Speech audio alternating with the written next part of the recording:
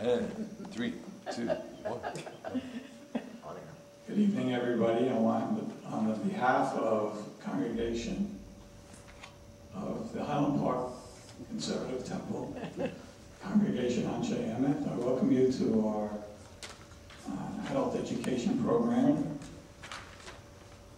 Uh, A conversation between Dr. Maurice Elias and Dr. Jeffrey Kress.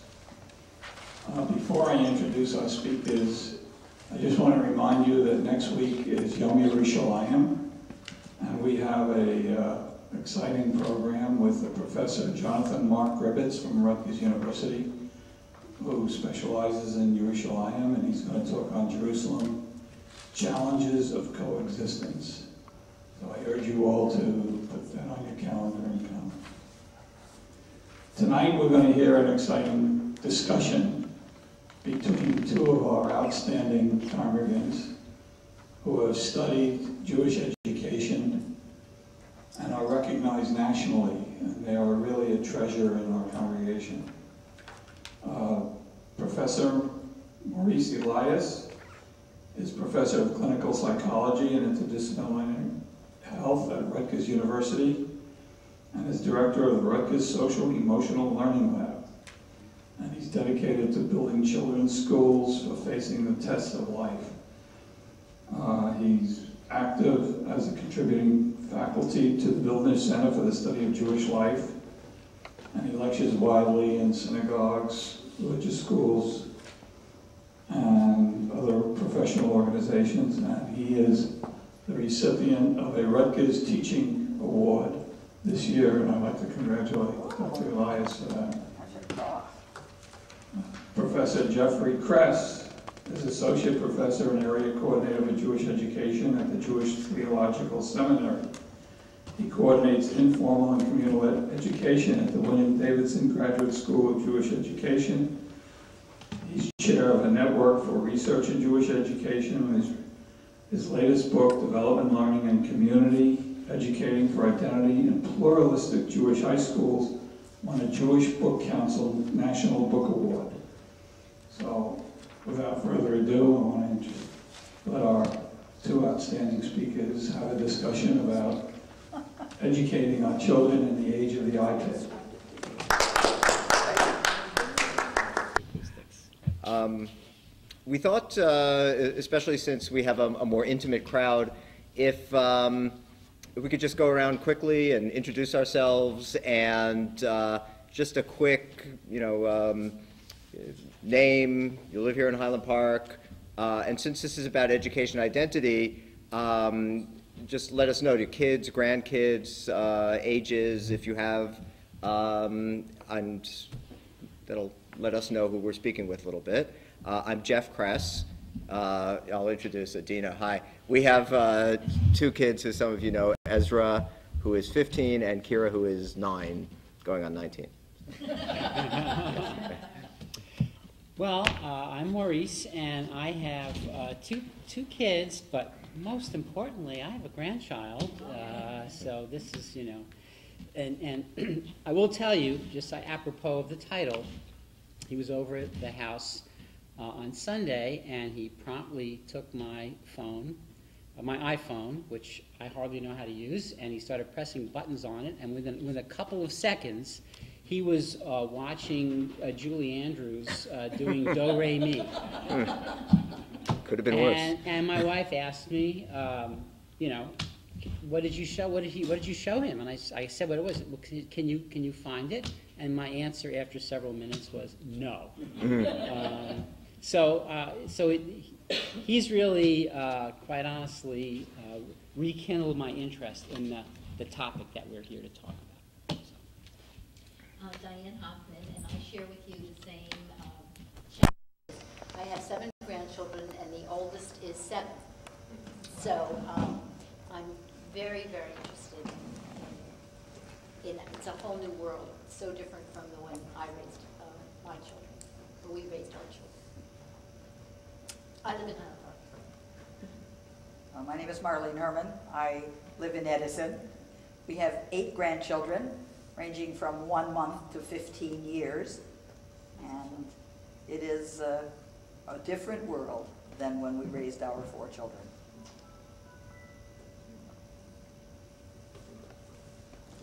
I'm a professional, Debbie Gerber.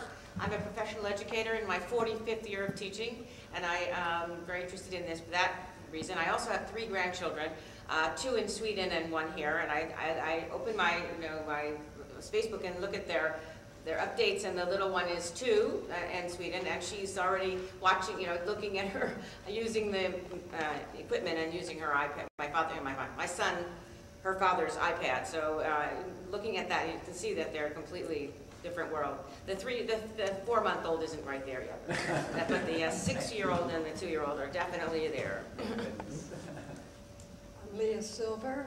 I have two daughters who are tenured professors, and I have four grandchildren, two boys, two girls, and most of all, I have a great-grandchild who is super precocious, who has already taken the cell phone and pressed the proper button and spoke to his grandmother. How old? Blah, blah, blah. Oh, uh, he's a year and a half now. I thought you were gonna say that he was tenured also. That would have, that would have been very impressive. Your name? Very simply, Your name? my name is Norma Arbit. I'm a native of the shtetl of Bound Brook, New Jersey, where I grew up. And as a youngster, I would say, please, Dad, please, Mom, can't we move to Highland Park? Can't we move someplace where there are Jews? Well, he named me. Tell me your children. My children, very unusual children. Uh, The oldest one, Kenneth Asher, is in Israel. How many children? Uh, Yes. There's three kids. Three? Yes. And, um, see, my How many daughter, grandchildren? Hmm? How many grandchildren? grandchildren, Yeah. lose track. Three, four, I don't know, can't really lose track. But, um, a long time ago, a letter came in the mail, No, no, we're not doing no. Just, just me to Just the children and grandchildren. right, part of it. A letter came in the mail. The letter was from Israel. And that's what began the trip of our children to Israel, because of that letter. Okay, so Larry's. I'm Larry Zamek. I live in Piscataway and work indeed in Piscataway in the Busch campus of Rutgers. Uh, I did not win a teaching award this year, I'm afraid. And I'll defer to my wife about the children. So I'm Mona Zamek, and I'm related to this man at my right. We have two children who are procrastinators, so we have no grandchildren.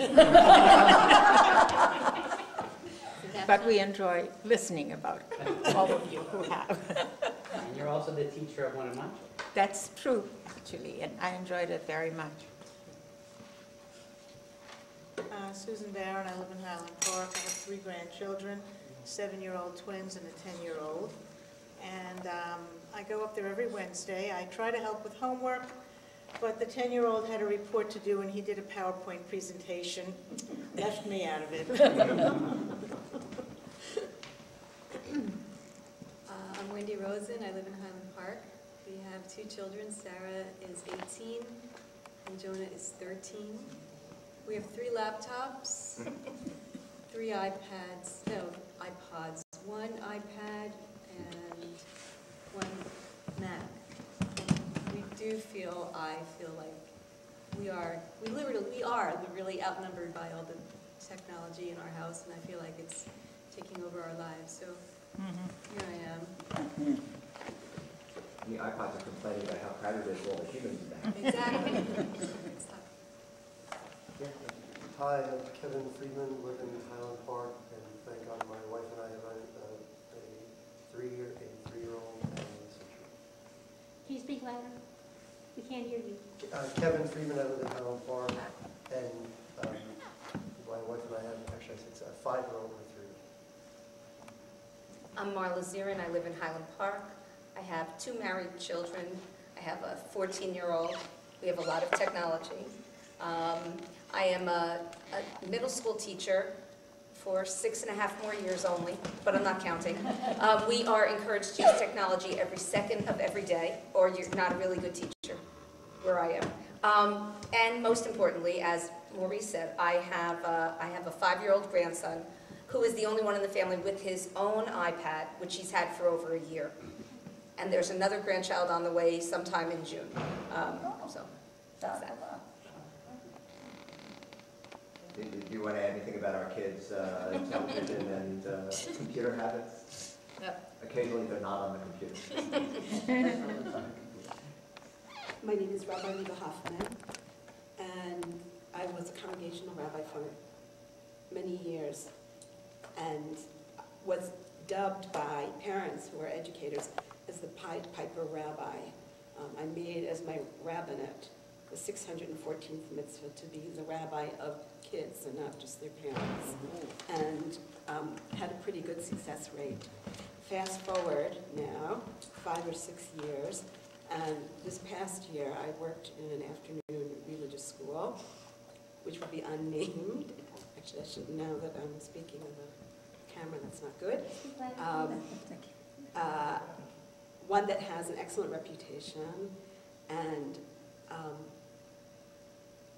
it was shocking to me, really an eye-opener, um, how different the kids are, how the culture is so different. Um, And I can't believe that this is an aberration. I don't know if it's an aberration. Um, And they're all plugged in with, you know, with their earbuds and this, that, and the other. That in itself is a negotiation. So, what's going on? Okay. Uh, go ahead, go ahead, Steve. Okay, go ahead. More than what's going on, how do we fix it? What's the tikkun? I'm Steve Parkoff. My wife is sitting in the back, Barbara, and we have 10 grandchildren, ages from seven To get it right. to 17. to 17. 18. 18. And uh, uh, the local grandchildren had to teach us how to use our iPhones, even though they didn't have one. They- uh, When we got ours, they taught us. Uh, when uh, the kids get uh, bar mitzvah in Texas, we buy them an Apple Mac, portable. And uh, everybody's online. And And we're texting like crazy. Hi, Saul Fishman, Highland Park, two daughters, ages 13 and 11. And I'm not so fascinated with technology since I work with it constantly anyway and take it for granted, but I am very interested in Jewish identity and how to teach it. Okay, I'm Rabbi Malamet, Elliot Malamet, four children, one soon to be in university, and uh, three in various stages of high school and pre-high school, also teaching in the, uh, uh, here with the kids in the school and at camp. And um, my mother just bought an iPad for her 80th birthday, and when told that she needed to buy apps, she asked, what's an app? And when told she could buy it at the App Store, she said, where is the App Store in the mall? So, so, so we are, you know, living the digital immigration story and digital native story. Yeah, I think there's an additional category to uh, digital native, additional, uh, digital, uh, is it refugees or Yeah. whatever it is. Uh, There are uh, digital abductees who uh, feel that they are dragged into this screaming and uh, and kicking. Great, well, welcome. Yeah. So a- a- as a sort of a, a continuation of the beginning of the conversation, so we're, we're curious and when, when you all were growing up, what would, what was considered innovative technology? What do you remember as being the innovative technology when, when you were growing up? Yeah. Me? Yeah. The cameraman. Um, transistor radios came out in the early 1960s. Uh, remote control televisions. Um, I grew up with a record player, uh, using LPs, basically. And then we saw the coming of um, cassettes. and eight tracks, and then CDs. Um, me behind the camera, which you don't see on, on the video, um, we used to shoot movies on movie film. It then became video cassettes, and now uh, digital video. And you edit on a, on a computer screen rather than on a little rewinds. So that's what I grew up with. Yeah. What is about that too, Uh, I had my own telephone line in my own room, my dial, and it was yellow. It was my own phone with a cord long enough so that I could talk in the closet. That was high technology. Yeah, it had a, uh, a, a- a privacy function. Yes, By closing yes, the except door. my grandma, uh. Yeah, I read, jogging my memory, uh, I was a camera buff, so I had a couple of different cameras, a Kodak, a box camera. But uh, my father was in the music industry, so we had all sorts of different radio, uh, radios and record players, and as he mentioned, we went from the uh, vinyl to the 45s to the 33s.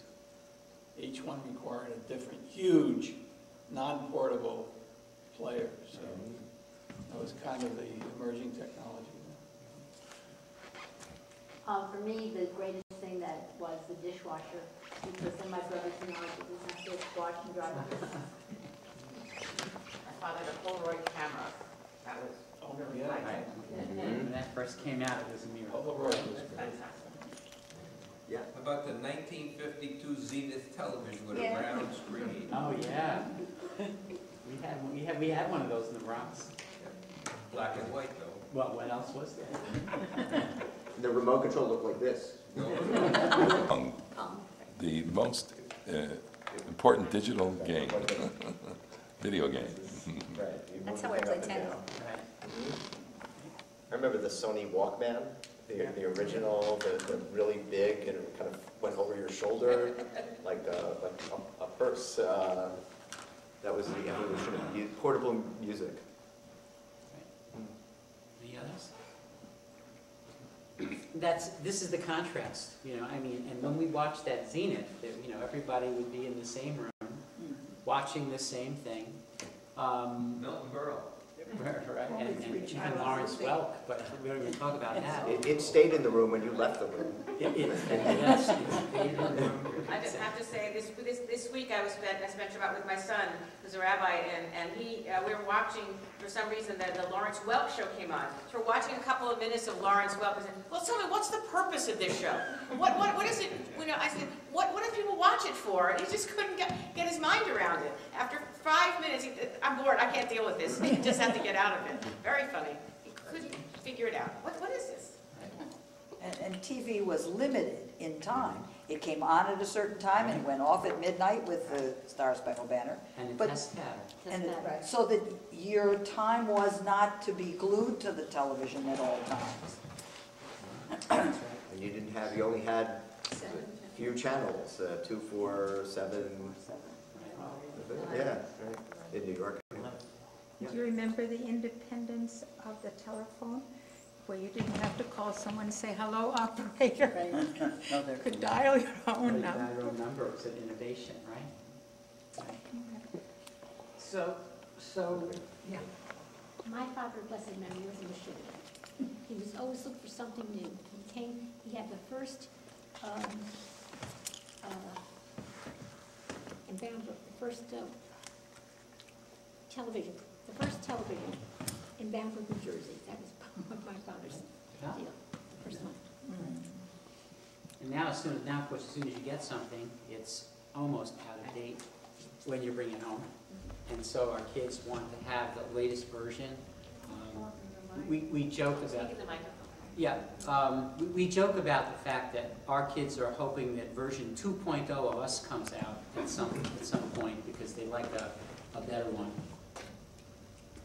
Okay.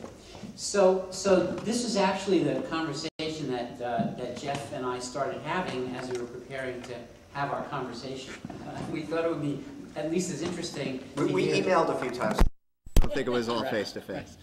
we thought it'd be at least as interesting to hear from, uh, from you about this, but, but I will ask Jeff um, uh, about some of your reflections about what you think the change really means. Yeah. Okay. Do I need that? Yeah. Uh, I, I want to reflect a little bit, based on what you said and some of what Maurice and I talked about. Uh, this is not. Um, it's an interesting way. I was thinking about the title of our thing. Uh, do you have the title here? Uh, Building Jewish Values and Identity in the Age of the iPad. And when we say technology, sometimes you get kind of a groan, like, ah, the age of the iPad. And sometimes you get something exciting, like, oh, it's the age of the iPad. So, which is it? Is it that technology is a great benefit to parents and educators and people who are bringing up kids? Or is it that technology is a great challenge to parents and educators and people who are working with kids? And I think that some of the things that you, uh, that you talked about point to the fact that technology and technological innovation has been with us always, and you know, it's like you say, if only he'd use his power for good. You know, if, if technology could be used for good, and technology could also be a challenge and pose um, challenges as we try to adapt and adopt new technology. Um, you know, if you go back even uh, using uh, whiteboards in the classroom or using um, basic film projectors in a classroom. Uh, these are not, you know, they're not cutting edge, but as they came into use, they brought up different challenges. Uh, how many films is too many films to show in the classroom? Do you spend a whole session showing a film or do you stop in the middle of showing a film? So, um, in a way, um, it's a bit of an, an, evolution. It isn't like we're the first people ever to deal with technology, but I do think there's something different, and I think it's some of the things that you pointed out. Your TV did stay at home, and you put it behind you physically. Now technology is with us always. And, you know, I think it's probably hard. I admire, I haven't seen anyone do it yet, but you know, checking under the table to see who's emailed and who's buzzing and who's texting us. There's no getting away from it now. It's everywhere and it's always. And there's been some interesting um, neuroscience research about how um, the parts of our brain that respond to um, pleasure and reward, they, they light up when these emails come in. And it's, uh, you know, shouldn't be surprising because it's exciting for us. What is it? What is it? Oh, it's just an ad for Macy's. Oh, what is it? What is it? Oh, you know, it's a long lost friend. It's like winning the lottery or something. So um, the, the ubiquity of it is, um, it, it's hard to ignore. And the other thing is how, it's not just what the technology is, but what the technology does and it's kind of a cliche, but there's the idea that technology has made our world a lot smaller. We know far more about what's going on beyond our little neighborhood now, our kids do, than when we were growing up. When we were growing up, you know, we had conversations with our parents about world events. We might have seen the newspaper. Maybe you watched the nightly news. But here, kids have a direct line to their camp friends who are off in, uh, off in Boston and got news of the Boston uh, bombing immediately because people posted it on Facebook and their friend, they saw it before the adults saw it. And this is how uh, the, the separations of time and space aren't the same. You could be sitting here, but suddenly you have real time information from someone that you know or even someone you don't know, someone who knows someone that you know, who knows someone that you know, and is getting that feed from um, elsewhere. From you know, Boston is just the most recent example. So I think the exposure to um, to different people, different places. When you talk about Judaism, different ways of being Jewish, or different ways of not being Jewish, are much closer and much more within kind of our finger clicks. Do you want to add to, yeah? Yeah, so, so I think that, that may be challenge number one from the point of view of Jewish identity, is that um, the kids are exposed to many more models of being Jewish, and they're also exposed to many more models of living that may have nothing to do with being Jewish. And so for parents who are trying to uh, send a message or build a certain case, um, it's very difficult to prevent what we were talking about the, uh, the inexorable march of pluralism coming to our kids.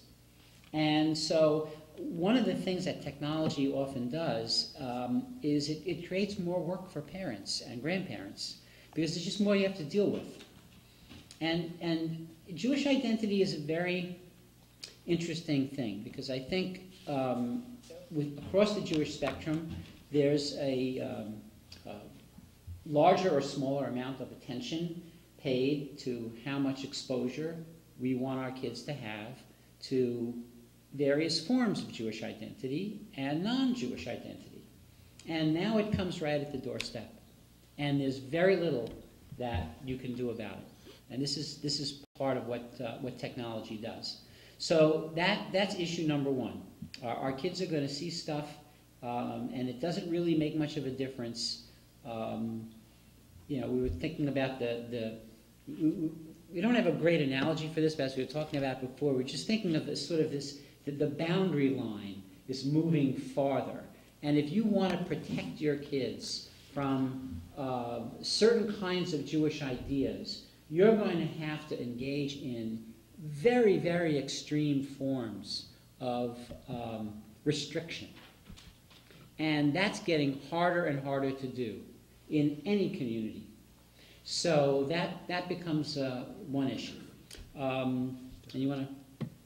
Yeah, can you explain what you mean by extreme forms of restriction? Well, yeah, yeah. I mean, if you want your kids, he's not advocating this. He's uh, no, well, not necessarily. Necessarily. Sorry. But, but if you if you want your kids to not hear about anything, well, let me let me use an example that came up. I went to Israel and I was at the Ministry of Education, and I had meetings there with a very sophisticated and worldly group of, uh, of uh, educators. And when you leave the the, uh, the ministry building in in uh, in uh, um, it's uh, Hanavia Street, you your car has to go through Bnei Brak. And I never went. I was never in Bnei Brak until I left this particular case. And I, and I was just, again, I'm naive, but I was amazed to see that the only way they got their news was by having things plastered up on the walls, uh, basically posters. And people would gather around them, and, and that's how they would get their news. And they were trying very hard to restrict children in particular, but not only children, but particularly children, from access to any kind of electronic uh, media. So that's an example of the fact that if you really want to keep your kids from electronic media, it's going to be harder and harder uh, to do that. Another example that was in the news uh, about a year or so, or maybe two years ago, there was this phenomenon. Did you read, if you remember, half Shabbos? Do you remember half Shabbos? What was half Shabbos?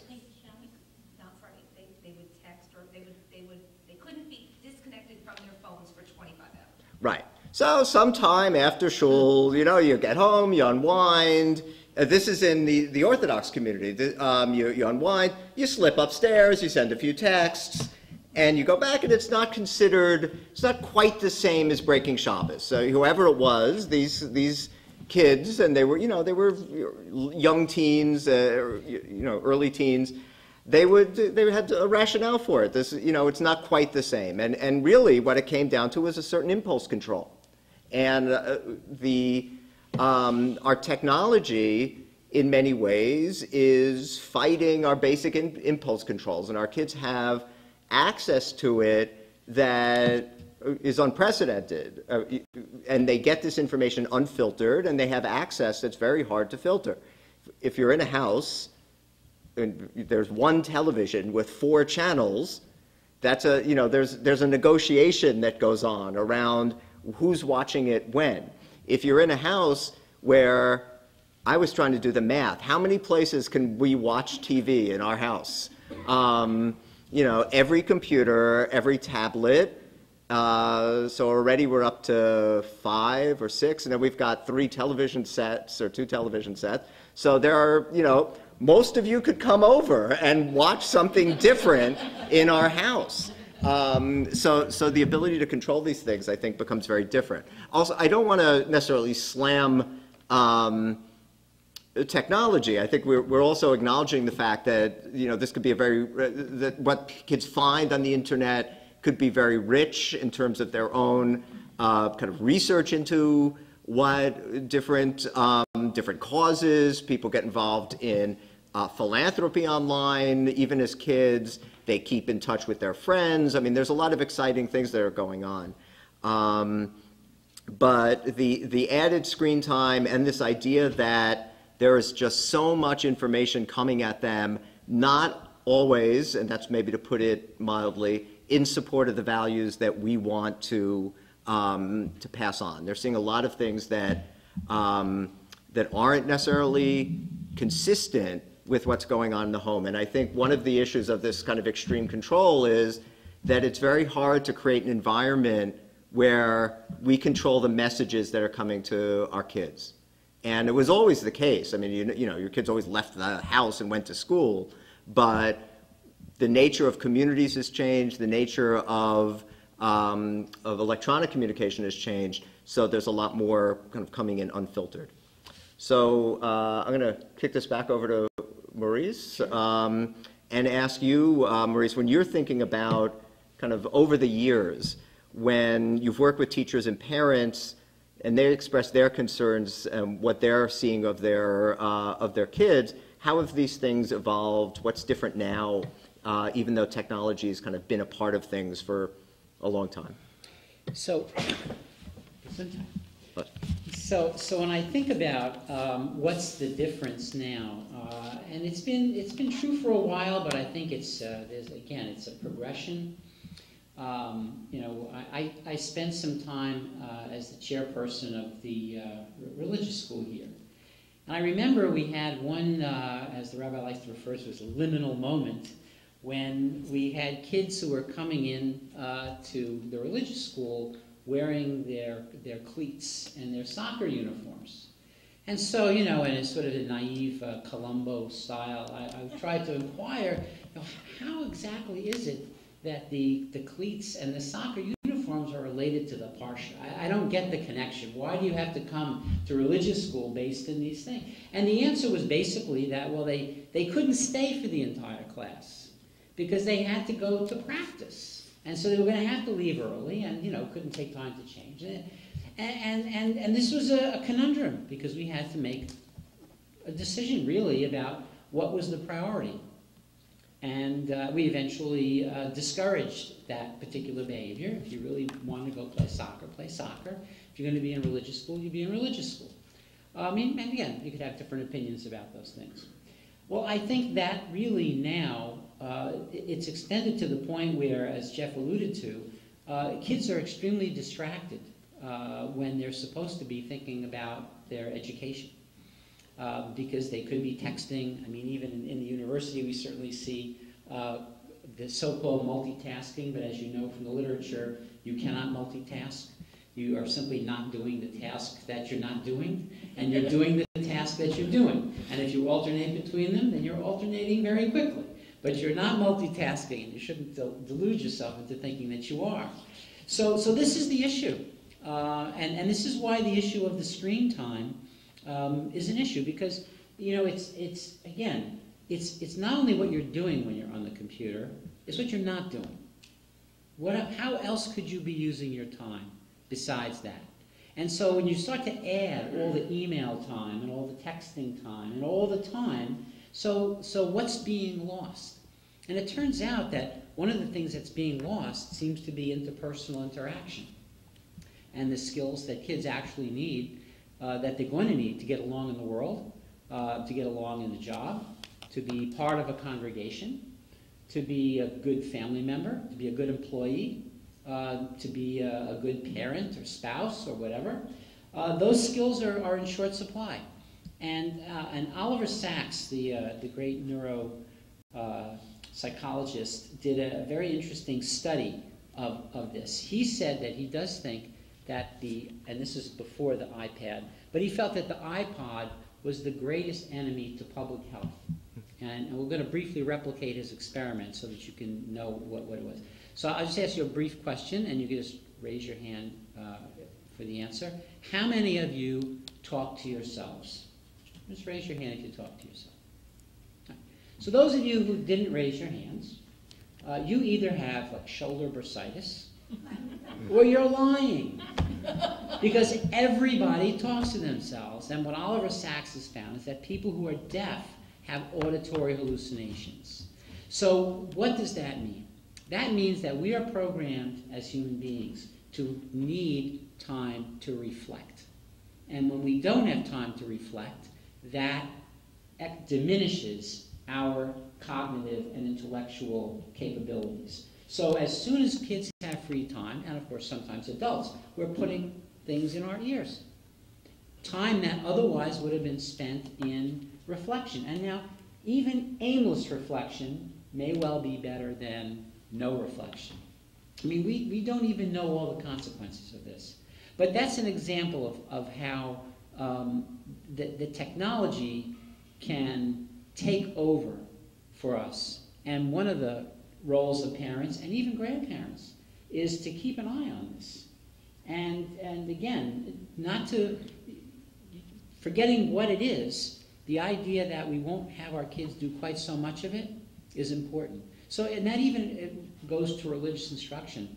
Uh, if you think about the idea that, that, as Jeff said, technology can bring so much into the religious school classroom, and you could get videos of things, and but if there isn't time for conversation, if there isn't time to learn how to share opinions, if there isn't time to learn how to relate to one another, then their religious education is not going to be uh, complete. Uh, so we have to be very careful uh, not to not to risk losing the interpersonal skills and opportunities for debate, discussion, dialogue, disagreement, cooperation. Um, that that in many ways technology can, can usurp without our even uh, thinking about it very much. Yeah. I, I wanted to bring up a point that Can you all hear? I wanted to talk about the fact that when you have a, a child or a grandchild using technology, sometimes it's quite tricky. So here's an example. With me, if when I was doing homework, if I had the TV on or the record player, there was, or I was on the big yellow phone, my parents would know that I was not engaged in learning okay? Well, cut now to my 15-year-old who's an excellent student and really, really responsible. But if I go into her room and I see her on the computer and I immediately say, do your homework, she's got books online, she submits papers online, she has resources online. She even, she studies Torah, you know, when she does her Torah reading, she has the clip online and the Torah and the, the Tikkun online. So I could be uh, beginning to yell and she's doing what she's supposed to be doing. This is very tricky. I mean, the cell phone, the television, the music, no, but, but the, that computer has, is, is fantastic in a lot of ways, and it really makes parenting even harder because you really have to snoop before you yell. I don't know how else to say it, but you know, even if they're on the computer, you can't say what are you doing on the computer because they're doing what they're supposed to. And, and so think tough. of it and imagine it from, uh, from the child's perspective. What self-control is needed not to go click? I mean, it's right there. It's not like you have to walk upstairs and hide in your closet at the end of the big yellow curly cube. It's right there. But you can also do it qu- so quickly, and the images go by so quickly that our attention span is now much shorter. So that even conversation time amongst people seems to be, you are cute, right? GR number eight. So, so you know, I, I, I, I'm gonna, you can copyright that, Marla. You have to snoop before you yell. I, I just think that's so, such a terrific. Just great. Mantra. Yes, no, absolutely. I, I think that's, I think that's terrific. But, you know, the, the other, the other aspect of this, um, and again, you know, we don't quite know, but we can suspect Uh, For example, at the university, students seem to be able to read less because their eyes are not used to doing what you have to do to read. And, you know, reading is a kind of a really kind of a dull thing that your eyes have to do. But when you're checking screens and, and, and doing all kinds of uh, texting and surfing and getting bits of information, uh, it's very different. And as Jeff was saying, the brain literally responds in a different way to that kind of thing. And so, um, so here again, we have to ask ourselves, do we necessarily want all the books to be online? Do we only want our kids to do online reading? I think some of us uh, grandparents are, are probably uh, advocates for getting those old books out of the closet and making sure that, that kids be comfortable uh, with this uh, ancient technology of turning a page and looking at a book. Um, and it's especially important for kids who are very young because those kind of imprinting of values around comfort in reading, um, by the time the kids in third grade, a lot of their essential reading habits are pretty well formed. So that's why it becomes so critical to, to sort of not, not let yourself get overly swept up in, in some of these kinds of uh, technologies. It really is a lot about, uh, about the balance. Have they, has there been any studies on the impact of not having the sensory experience for a kid of holding the book and turning the pages and feeling, you know, sometimes the pictures have, you know, Velveteen Rabbit, you know, whatever.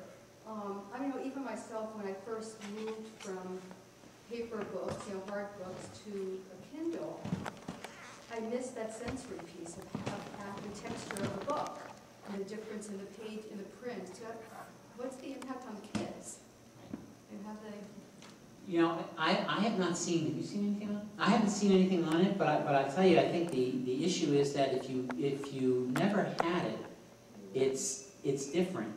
I mean, we old folks had it, we had a lot of it, uh, and so it's different. Um, so I, I think that's, that's part of it.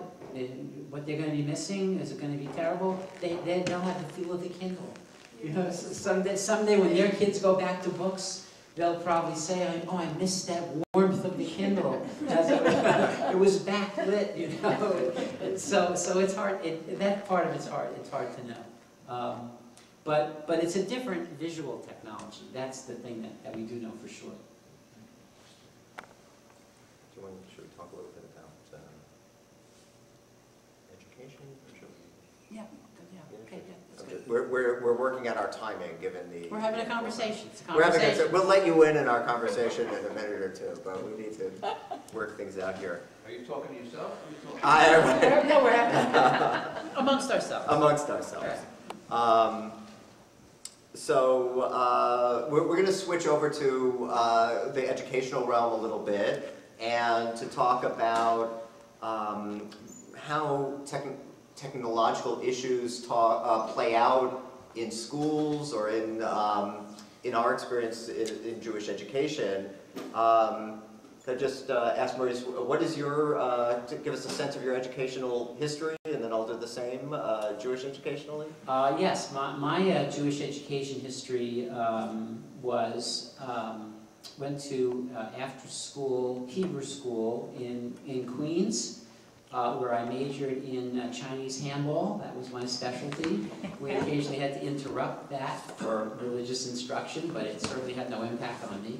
Uh, and and, and uh, I did perfect the Chinese handball much more than I perfected anything that I learned actually in the in the in the religious school. It was it was a very uh, Hebrew focused um, uh, experience without a lot of understanding, and I was I was certainly one of those looking forward to my liberation at.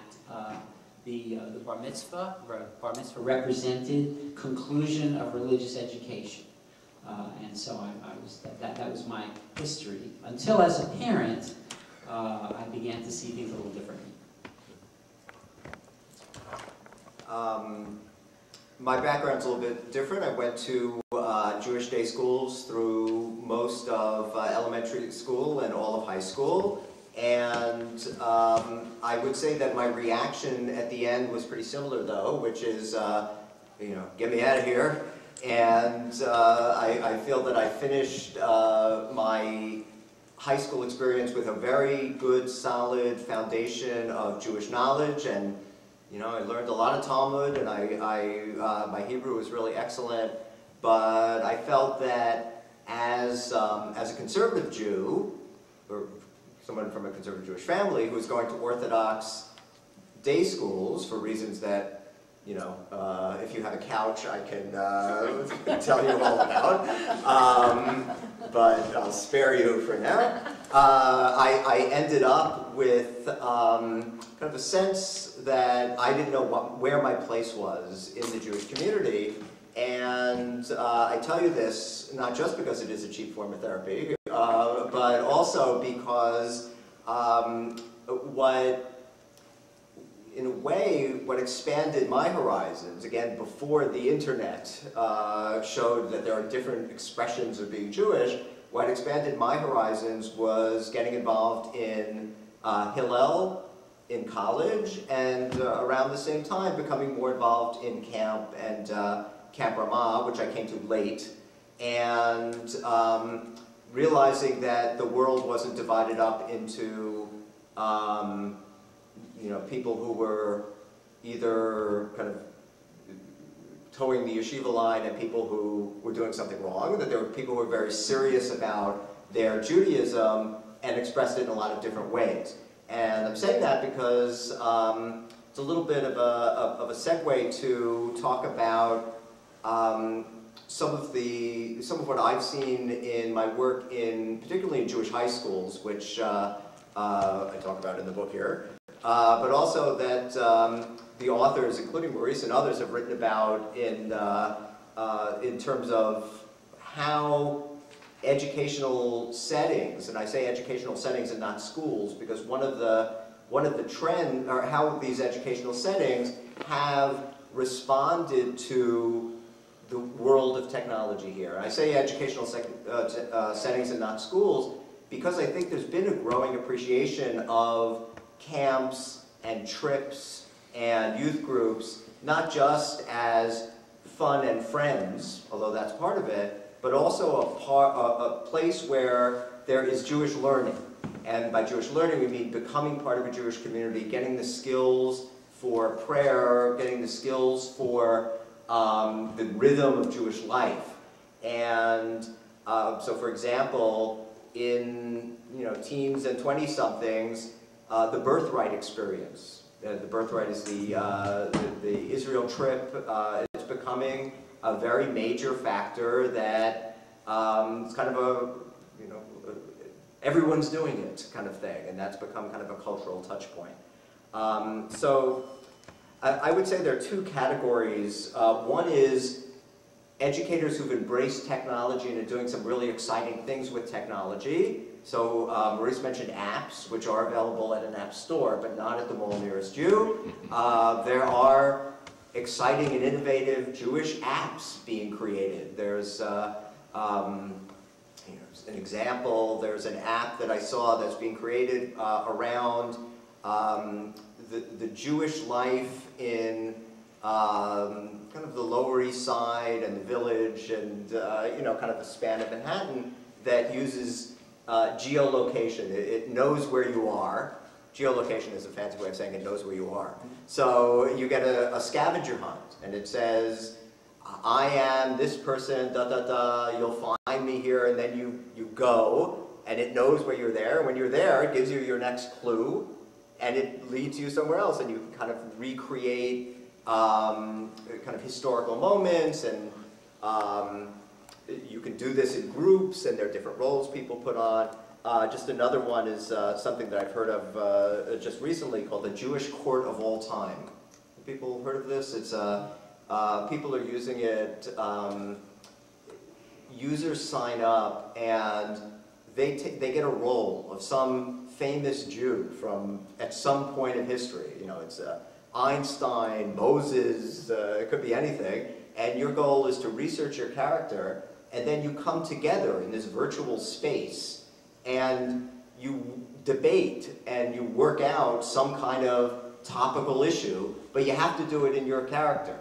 So, as Moses, what do we say our communal response to poverty should be?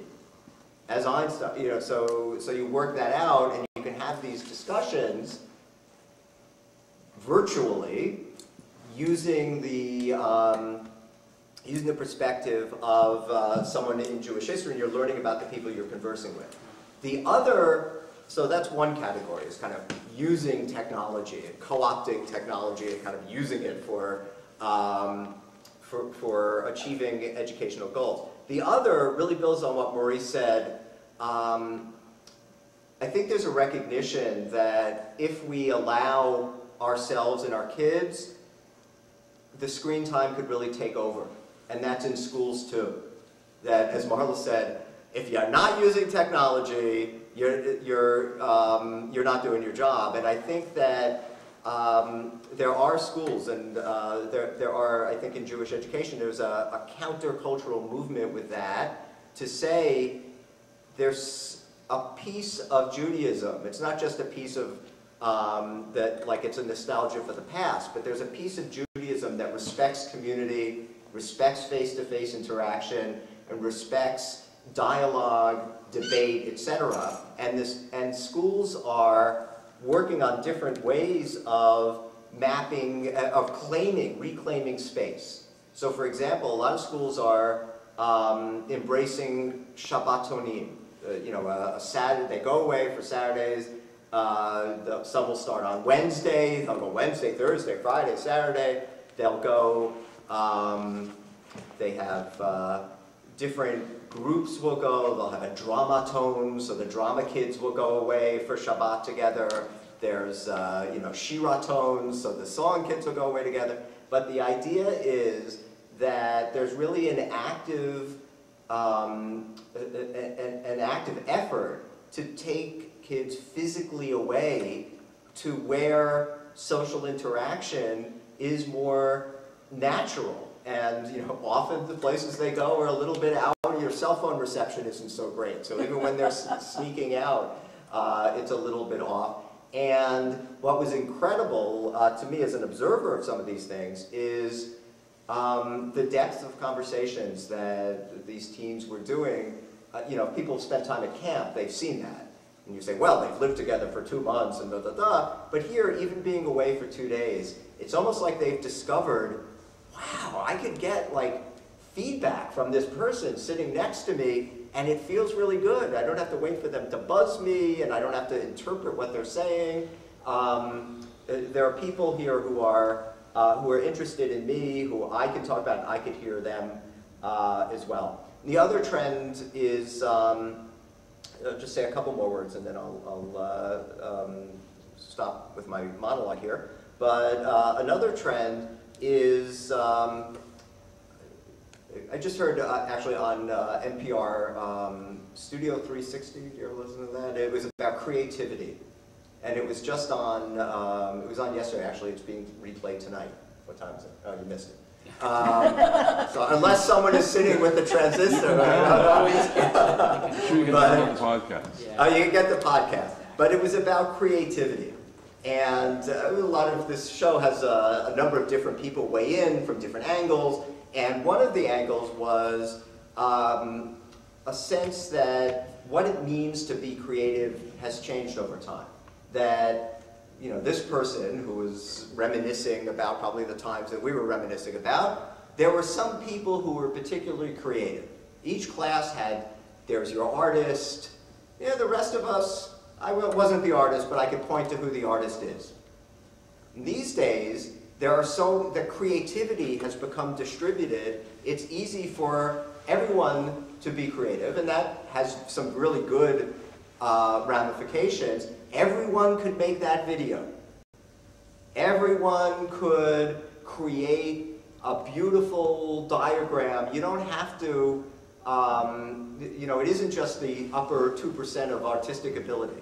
And, you know, that could be very empowering but it also creates a challenge because it, it, kind of sets a bar for what it means to be creative and how do you ask kids to be creative. And I think schools are taking advantage of this by doing a lot of project-based work, doing a lot of um, uh, activities where kids are really empowered to uh, make their own, kind of construct their own learning, they're uh, involved, for example, in youth philanthropy, where they research causes and they make decisions about how they're going to spend uh, Tzedakah money. And these are used, and they're using technology, but they're using it as a tool. And I think that that becomes a really important piece of kind of instruction, that it isn't let's learn how to use technology as its own sake, but let's learn how to use technology as a tool for something else.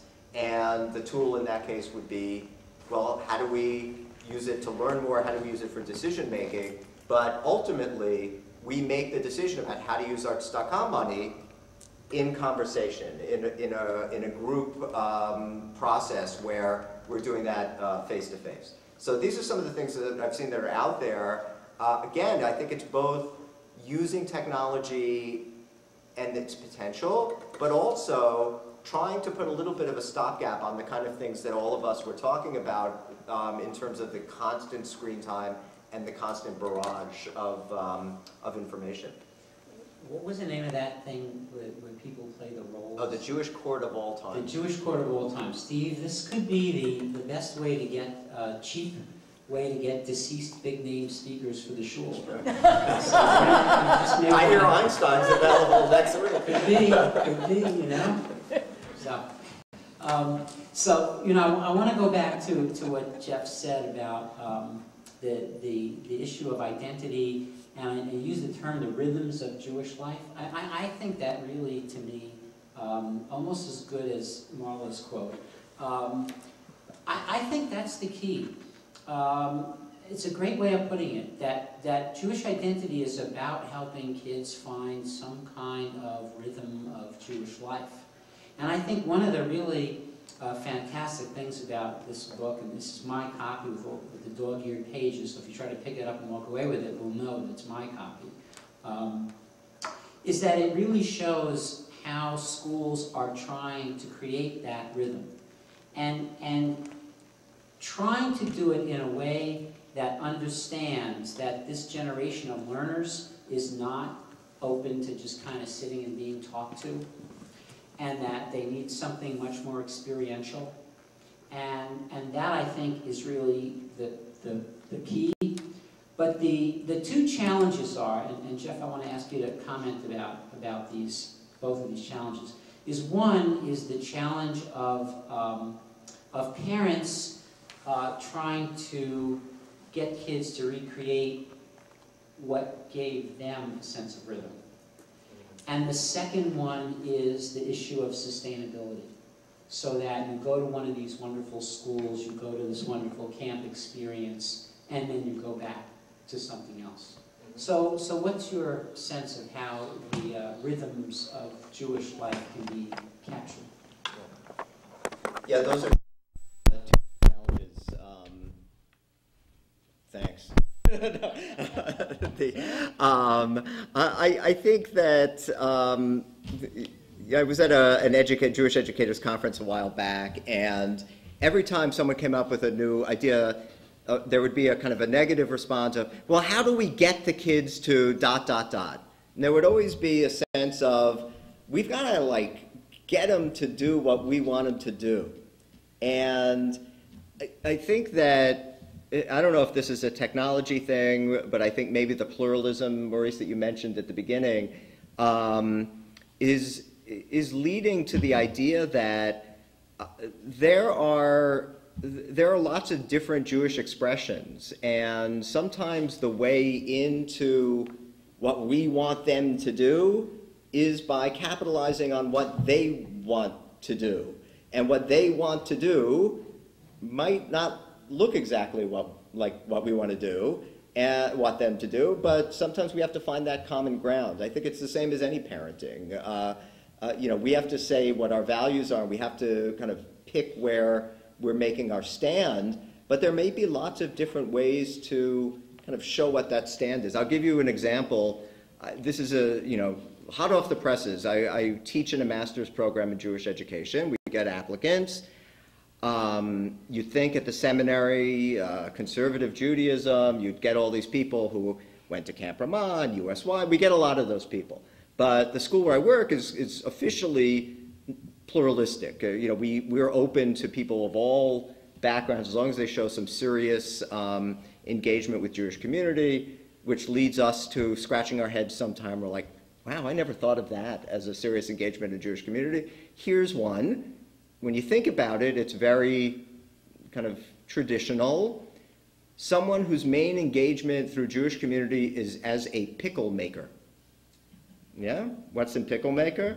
Here's someone who was brought up in the suburbs of Detroit and uh, has been, I don't know if you're following what's going on in Detroit, the inner city of Detroit not doing so well. So she sees that it's a mission to help down look, the, the downtown Detroit.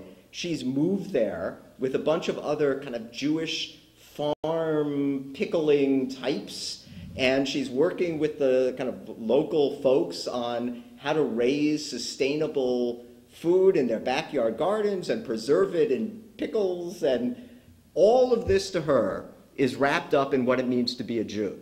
And she's seeing it because it's respect for the earth and uh, tikkun olam, and the, it's, uh, they have some Shabbat activities that they do. I don't know what if there's a shul. I don't know. But when you ask her about her Judaism, I mean, she's serious about this stuff, and she wants to. Not only that, but she wants to be a Jewish educator. She wants to kind of learn more so that she could. Uh, so, uh, you know, I think that you know, again, I don't know if it's technology. I don't know where this fits with technology, other than I, think we we kind of have a sense that there are a lot of different ways to live life out there, and it, it, that that meaning could be found in different ways. The sustainability issue is, um, I think that's one that we, I think the schools struggled with, the schools that I studied, that the Shabbatonim were great, but sometimes, well, then you're right back to the kind of classic academic, uh, you know, okay, we can't really have time for those discussions now.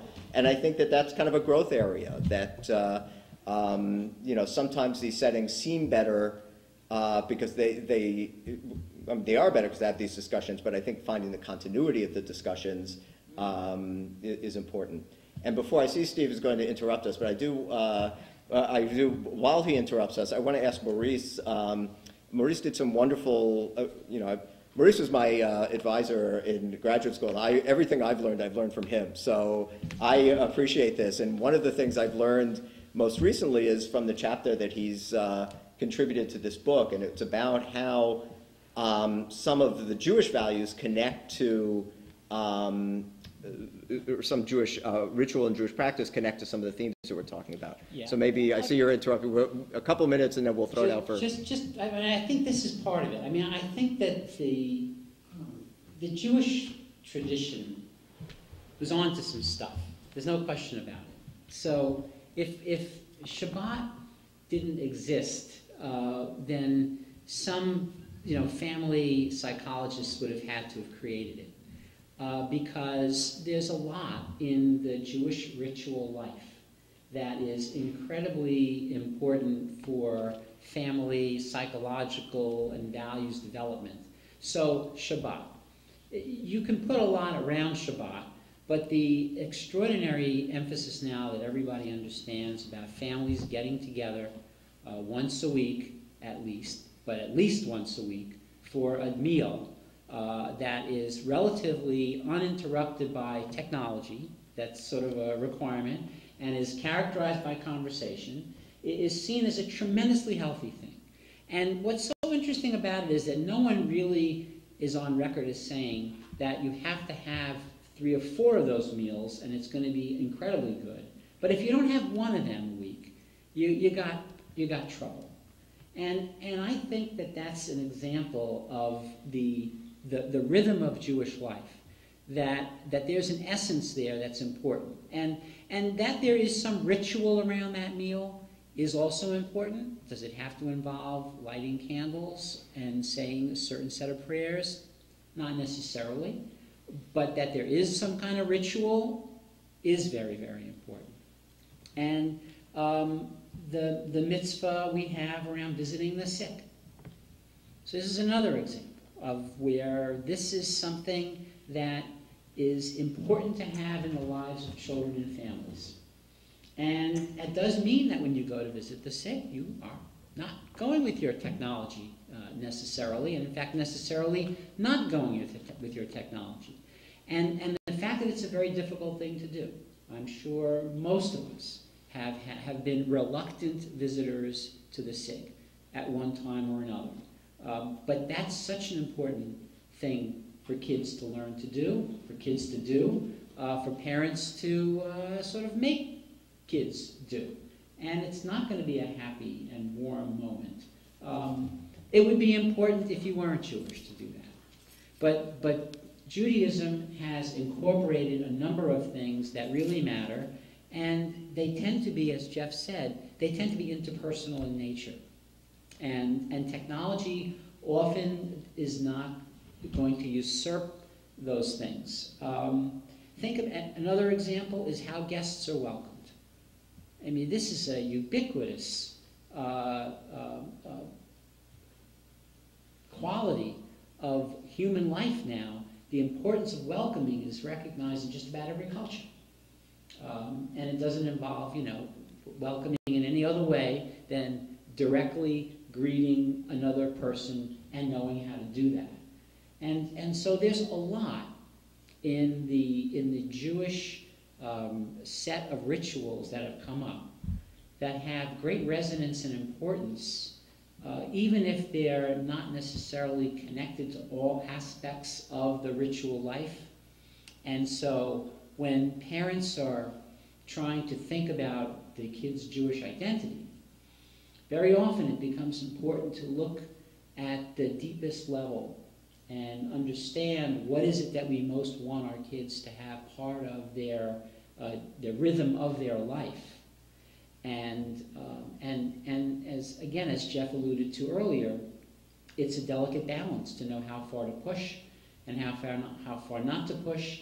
Uh, there's no specific guidelines for that, but it's just very interesting that so many of the things that are that, that we wouldn't want to have lost from, uh, from family and communal life just turn out to be interpersonal and dialogic and, uh, and not something that's going to be easily replaced by the iPad.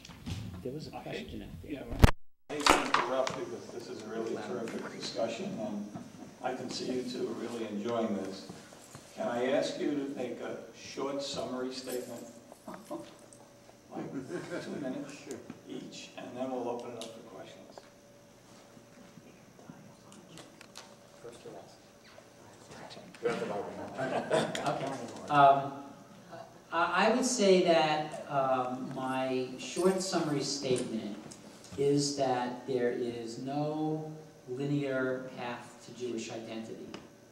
Um, most people's Jewish identity goes in some sort of meandering path and then arrives at some place eventually.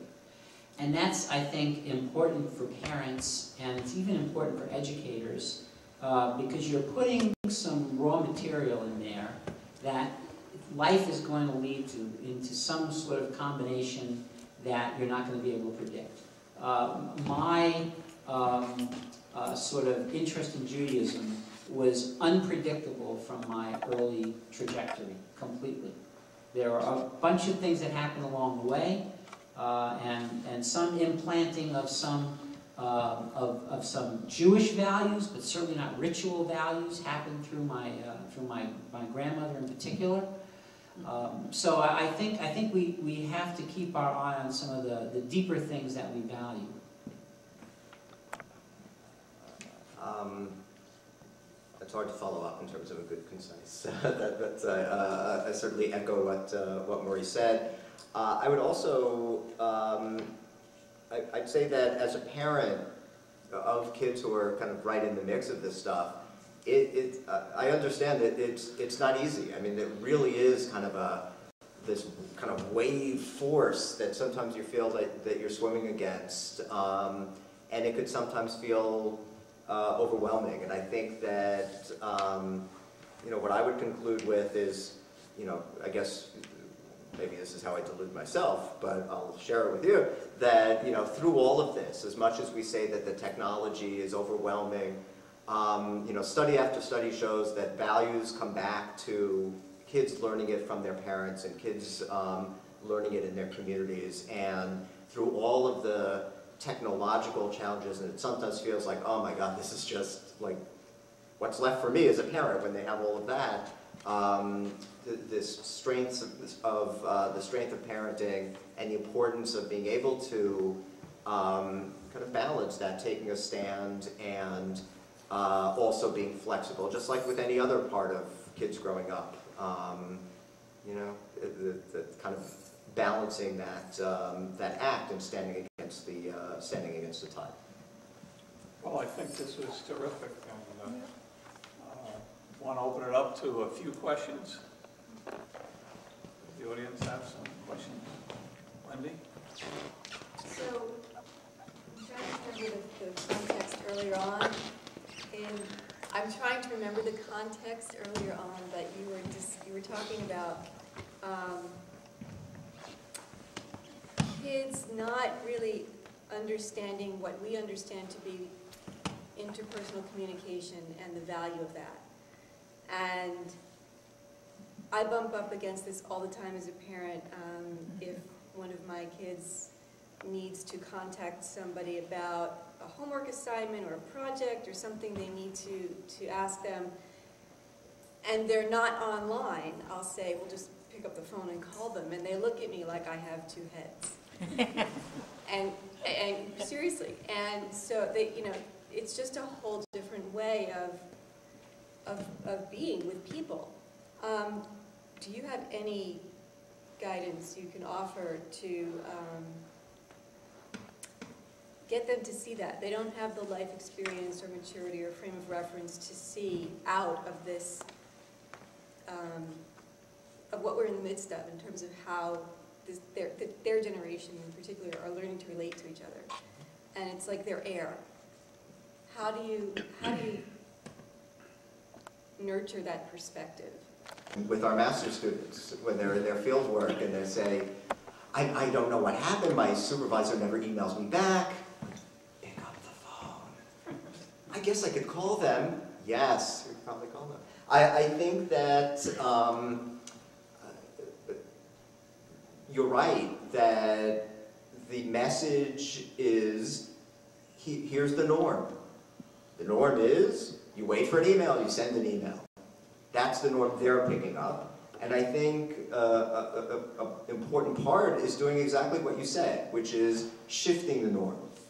That there are other ways of doing this. It doesn't have to be up on the soapbox. You know, it's better to uh, have it interpersonal, face-to-face -face communication. But why don't you try this? Giving some suggestions, um, talking to them about what their goal is, asking them to generate some other uh, you know, okay, so you're not getting an email. What are some other things you might be able to, to do? And uh, they say, I'll wait till they get online.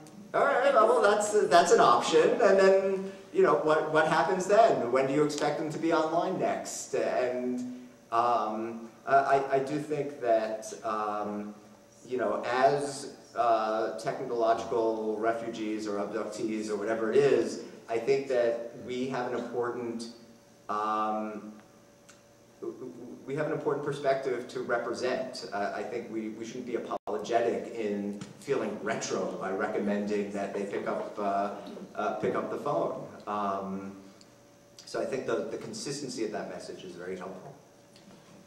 So I, I would just go on uh, record as uh, not being as kind as Jeff. Uh, recommendations sometimes are not enough. Sometimes you have to have an embargo on the use of the text messaging function of the phone. Um, and you're perfectly within your limits to do that. There is not a, a, a God-given right for unlimited text messaging. And most phones have counters, and you could probably even see when that limit might be coming up. Or you can just have a no text Tuesday. Uh, and so, you know, I mean, you could do kind of whatever you want. The key thing is whether you think you're dealing with a skill deficit or uh, just uh, something else. And, and it can be a skill deficit because there are times when kids don't want to get out of their comfort zone. And so then they will wait. And that really is a skill deficit.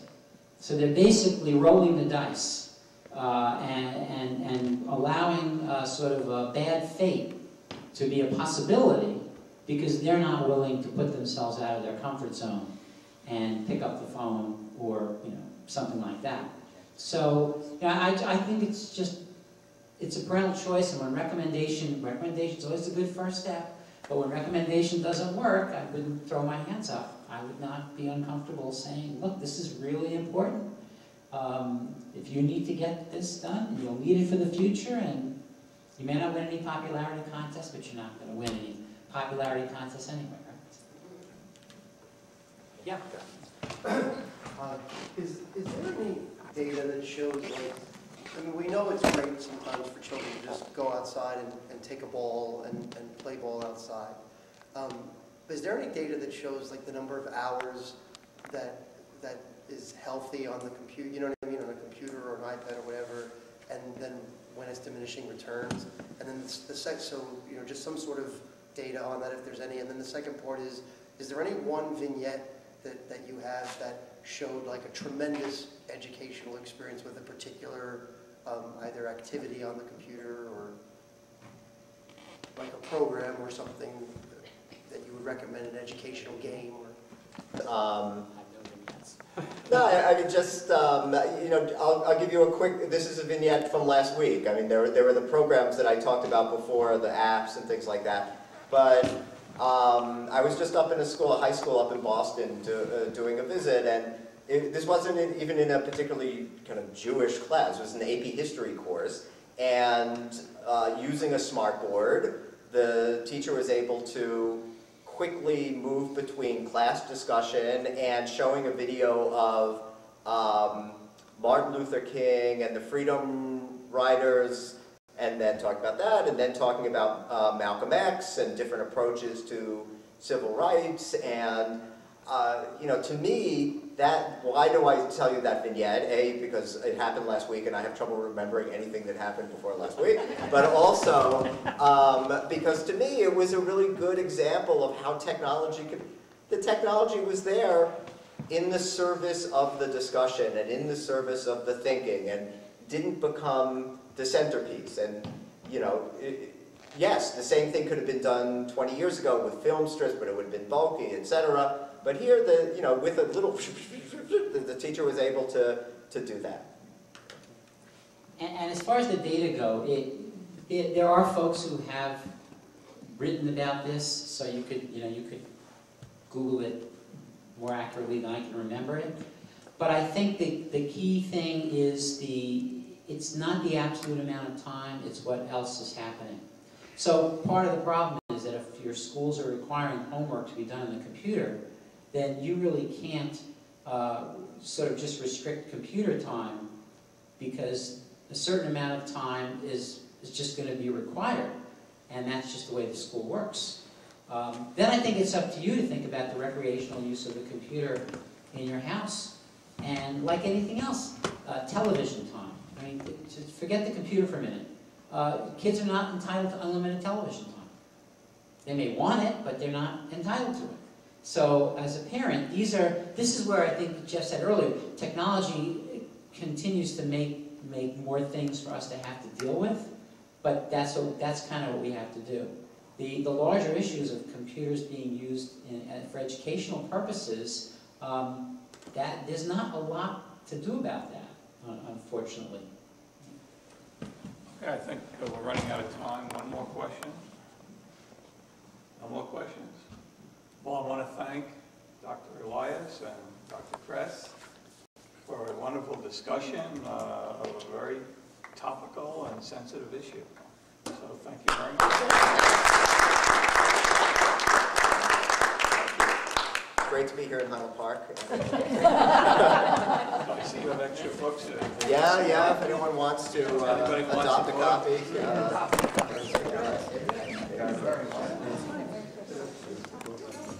Thanks so much. I like this one.